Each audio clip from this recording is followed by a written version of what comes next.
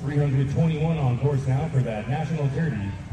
321 Chill, an entry owned by Pinski Performance Horses and shown by Mya Pinski.